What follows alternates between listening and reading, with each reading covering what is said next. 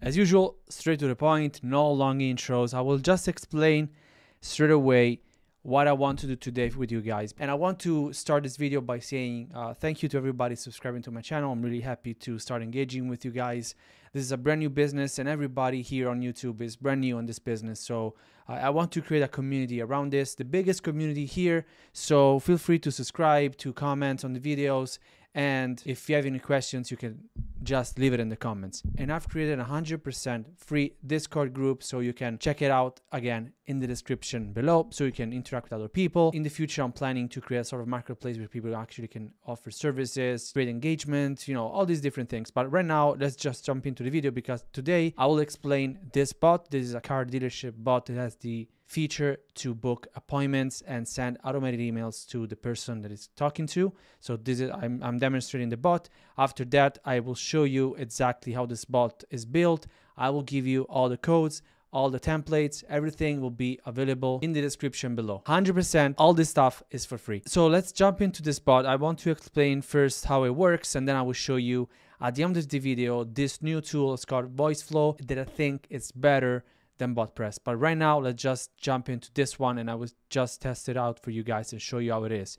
So you will have the same template and I will show you how to change the automation to make it work with Zapier, Stack AI, with everything. So right now we just say hi to start the conversation with the bot. And the bot, what it does, it replies to the user saying, they already know what car you want to buy because this bot is created with a specific website. Then I will show you the website, all the information. But right now, I just want to show you how the bot works. So you have the options here. No, I don't.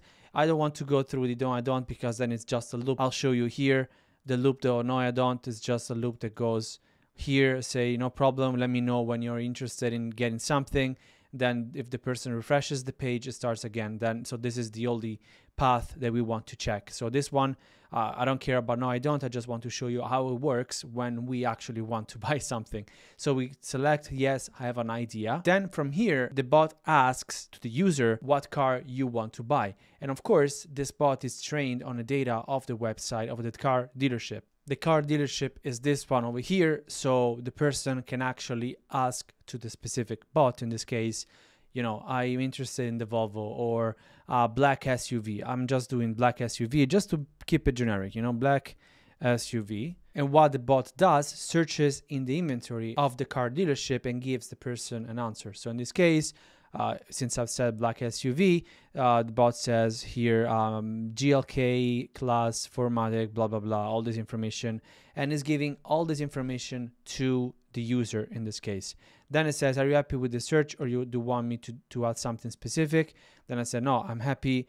and I want to proceed because again, if we go back on the no, then we start the loop again. I just want to show you how it works when the person actually already knows what wants to buy. Once we say yes, we have uh, the bot says, What is your name? We can say Joe Rogan.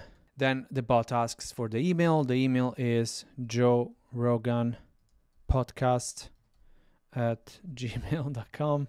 Then, of course, we have the phone number. In this case, I just put some numbers over here. And then it starts with the actually booking section of the bot. In this case, let's go back here. I will show you. So um, I just want to show you how this thing works. So we have the first question, uh, yes or no. Then again, no, we have a loop and goes back here. Yes, we say we get all this information. Then say I'm happy. Let's go with the name, the email, phone number again. Then we have the booking option. This is the code that now is working on the back end. So we have um, you say yes because we want to book an appointment in this case. When are you planning to book the appointment? Let's say 10th of August at 4 p.m. And then what happens is we just send a confirmation email with the juicy book information to Joe Rogan Podcast. Uh, keep an eye on your inbox. Now, uh, since I created this specific email, we won't see the email, but uh, it works. So I will show you how to set up everything. So what happens is the bot has now created the appointment for the dealership for the customer and has sent a confirmation email to the customer as well. Collected all the information from the customer. So the name, which car the customer is interested in, uh, the email, the phone number, again, all this information is saved as variables by the bot thanks to Zapier and gets all the information on the dealership with all the tools that I will show you in a sec. So since I've saved my my specific email of my company into this calendar on this automation, I would see an appointment on the 10th of August. So let's go and check this information together. And if we go on the calendar over here, as you can see, at 4 p.m. Joe Black SUV. So we know exactly who is coming, the date, and the time as well. So this is all automated. Again, the bot is just asking the person the information, is getting the information, is booking the appointment again over here. So how we can create all these automations together. I will show you everything. Again, this is for free. I don't want you to then click on the link, you pay whatever. It's for free. I mean, this, we're all in this all together. It's useful for you guys to understand how everything works. So let's start from the beginning. Let's first get information to add to the knowledge page of BotPress. So then the bot knows exactly how what to provide to the customer as a solution when their customer asks for, let's say, black SUV in this case. So we get to uh, we need to get the information from this website.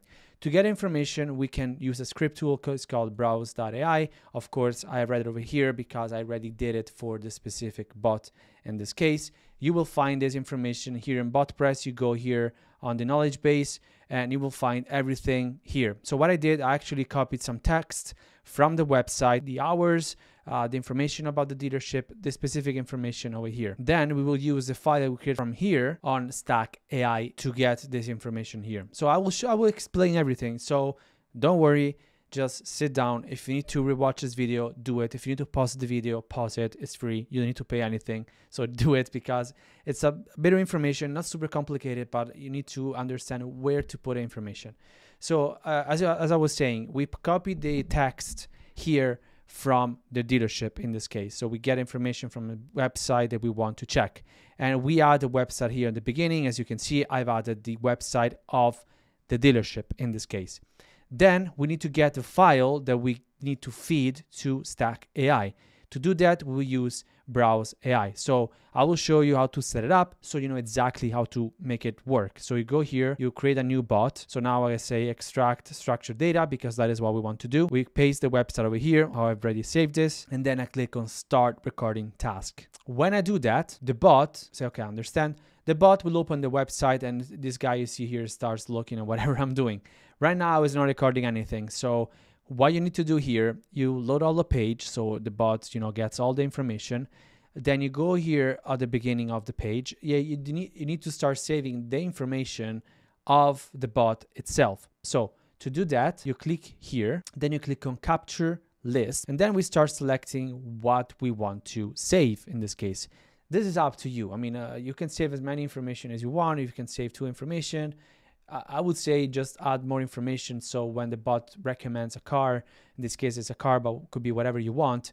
Uh, you have more information to provide to the to the end user. So in this case, I have to be careful. So I select the entire section of the car. Then I go here, I select this, and I say capture visible text. Then I select the price. Just be careful a little bit with this because sometimes it's not super accurate. So we select this, select this, the engine, body style, stock number, we don't care, the doors, transmission, and drivetrain. Once we do that, we just press enter on the keyboard and this comes up. So we need to start giving names and titles.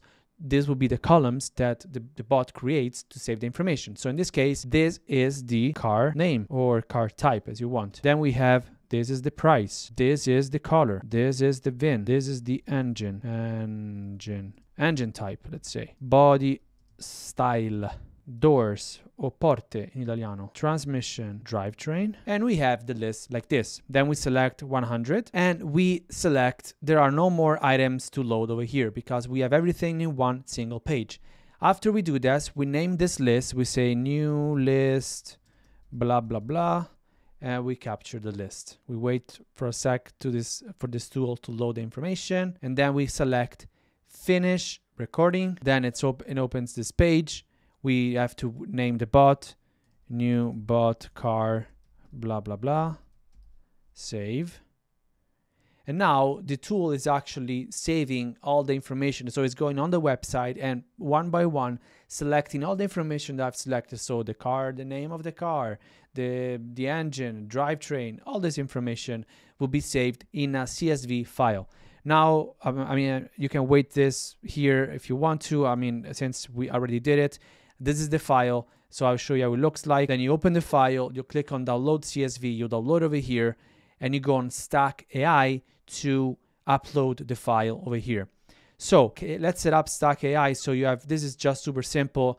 So you have it selected over here. So first thing you need to do is of course start with a brand new input. To do it, you go here on the left, you do inputs, input, and you have the input over here. So I, redo it down here so you see exactly what I have to do. So you have the input over here. After that, you have to create a new LLM OpenAI in this case. So we go on LLMs on the left, OpenAI over here. Model, you can do 3.5, 4, it's up to you, or you can do 4.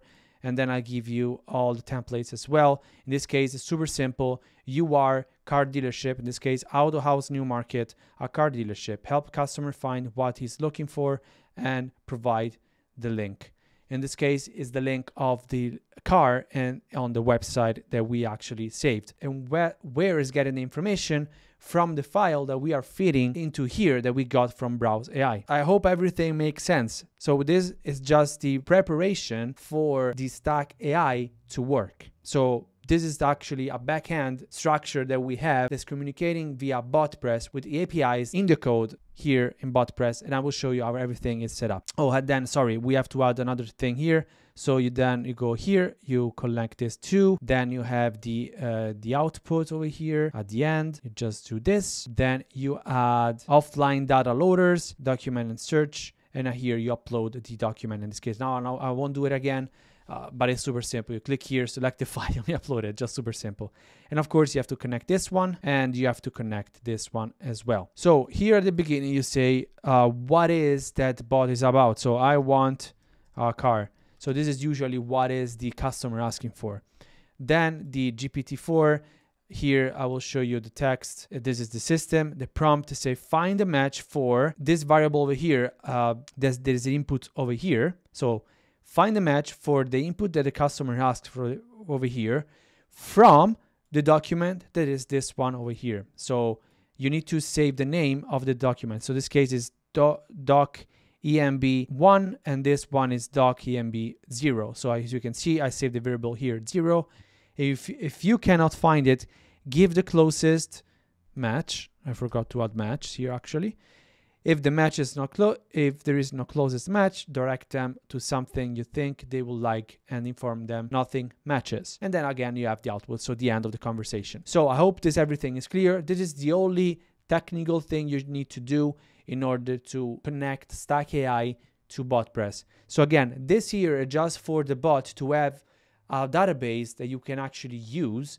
to provide information to the user. Again, this new tool here that is VoiceFlow, I will create videos specifically to this specific tool. It's called again VoiceFlow. Hasn't built in a knowledge base. You can actually upload over here.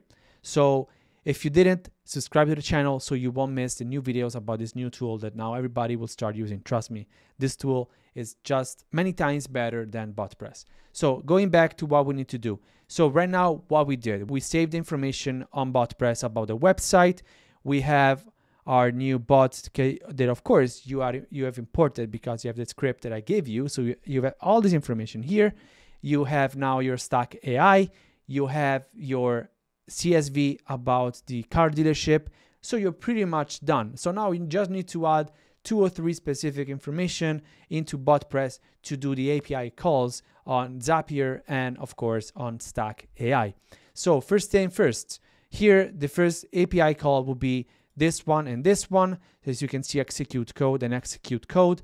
These two are related to Stack AI. To get this information, this is what you need to do. You click here, Again, you will have the same exact code that you see here that I have. You can do the same steps that I'm doing. Then you go on your Stack AI. Then you have to click here on deployments and Stack AI gives you already useful information that you can copy paste on your code on BotPress. So first thing you need to copy is this link over here, the first link. Now I won't show everything because mine, of course, is different from yours. This first link goes on here, endpoint link. The second thing, the second information here is your specific API key. Now you don't have it because you see all, all access here. But to do that, you just click here on show token. Then you copy this entire text over here, bearer, sorry for my pronunciation. And then you go, uh, and you, you will have uh, your alphanumeric uh, code over here, so your API key, and you will copy this here under public key, okay?